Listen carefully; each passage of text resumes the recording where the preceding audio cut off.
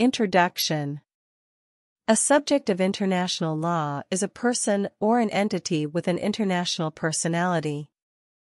It is capable of possessing international rights and obligations and can take certain actions on the international level.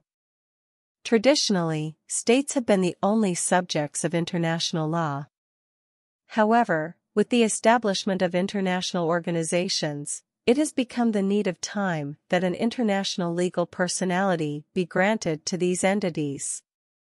Besides states and international organizations, individuals are also considered subjects of international law. A leading case reflecting legal pragmatism regarding subjects of international law was the reparation for injuries suffered in the service of the United Nations case, 1949. So what really is a subject of law? A subject of law is a being upon which the rules confer rights and impose duties. Whereas an object of law is burdened by no such competence. The law commands its subjects, but it merely regulates the disposition of its objects. So the subjects of international law are basically two, states and non-state entities. States include countries like the UK, USA and Canada. Non-state entities are further divided into three categories. First are individuals, like you, me and us. Second is international organizations like the United Nations, the International Court of Justice and the International Cricket Council. And the third category is multinational companies such as Unilever and Shell. Theories regarding subjects of international law. There are the main three theories regarding subjects of international law presented by jurists. First, states alone are the subjects of international law. Second, individuals alone are the subjects of international law. And third, states are the main subjects, but to a lesser extent, individuals and certain non-state entities are also subjects of international law. Let's discuss states as subjects of international law. Professor Oppenheim opined that states are the only subjects of international law. For example, the Soviet Union still adheres to the view that states are the main subjects of international law. Soviet international law experts are unanimous on this point. Criticism on this theory is that this theory fails to explain the case of slaves and pirates.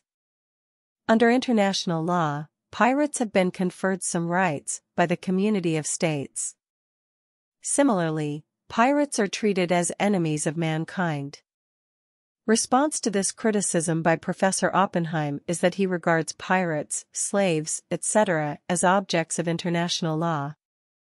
Second theory is that individuals alone as subjects of international law. Professor Kelsen and Westlake are the chief exponents of this concept that the duties and rights of the state are actually the duties and rights of men who compose it. Criticism on this theory is that the primary concern of international law is the rights and duties of states. However, the Permanent Court of Justice adheres to the traditional view that only states can be a party to international proceedings. So what is the place of individuals in international law? Some of the provisions of international law under which rights have been conferred upon individuals and obligations been imposed are Number 1. Pirates. Under international law, pirates are treated as enemies of mankind. Hence, every state is entitled to apprehend them. International law also imposes the obligation on parties slash states not to engage in piracy. Number 2. Harmful acts of individuals. International law provides provisions of punishment against those individuals who tend to be detrimental to cordial relations among states. For example, Ex parte Petrov, 1971, decided by the Supreme Court of Australia.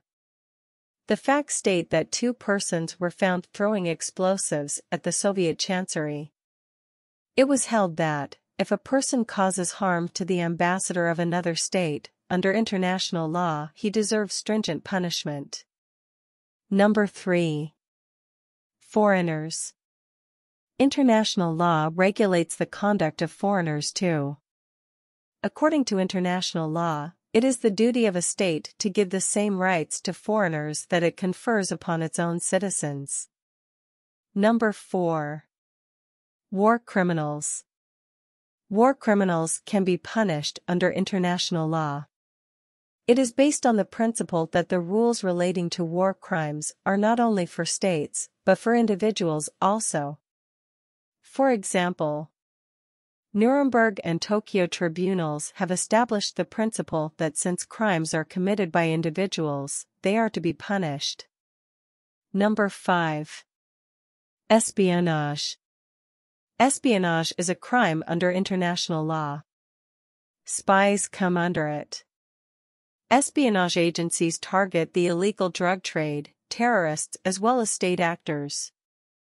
For example, CIA case officer Aldrich Ames spied for the Russians for nearly a decade before his arrest in 1994. Number Treaties some treaties confer upon individuals some rights, by which they can claim compensation or damages against a state. For example, the Treaty of Versailles 1919 provided that any individual can file suit against Germany for compensation of damages. Number 7. Provisions of the United Nations Charter. The UN Charter has given certain importance to individuals and their rights. Its preamble uses the words People of the United Nations, which is not incidental, but a deliberate attempt. Moreover, United Nations adopted the Universal Declaration of Human Rights in 1948. It discusses in detail the rights and freedoms of the individuals. Besides, in 1948, the United Nations General Assembly UNGA adopted the Genocides Convention. It imposes an obligation on individuals in respect of crimes of genocide. Number 8. Rights given immediately. International law confers upon the individual certain rights, not only immediately but immediately. For example, the Convention of the Settlement of Investment Disputes between State and their Nationals, 1965. It enables the persons who invest their money in foreign countries to have certain rights even against the state concerned. Number 9. Individual versus state. International law recognizes the capacity of individuals to carry out international procedural action. For example, the International Covenant of Human Rights, 1966 and the Optional Protocol confers rights directly upon individuals. Along with the UN Commission of Human Rights, they have enabled individuals to send petitions even against their own states. An important case to reassure the claim of individuals being subjects of international law is the Reparation for Injuries case, 1949. The facts are that the United Nations appointed Count Folke Bernadotte of Sweden as the mediator in the first Israeli-Arab conflict. Bernadotte angered many Israeli extremists and was ultimately assassinated in Jerusalem by a Zionist terrorist group Lehi. The legal claim made in his regard is that the UN General Assembly asked the ICJ for an advisory opinion on the matter if the UN can make an international claim to demand reparations for its agent, in service, injured by a state. In aftermath, ICJ determined that the UN can claim internationally against a state to obtain reparation for its injured agent. ICJ rejected the notion that only states are subjects of international law. In fact, other entities like individuals and international organizations also fall in its scope. The analysis of this case is as follows. Number 1. The international personality of individuals not only confers upon them rights and duties, but also recognizes their capacity for international procedural action. Number 2. International duties and responsibilities have become a part of international customary law. Number 3.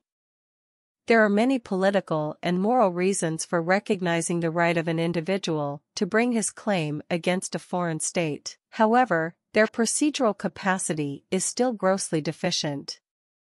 Now let's discuss state, individuals and certain non-state entities as subjects of international law.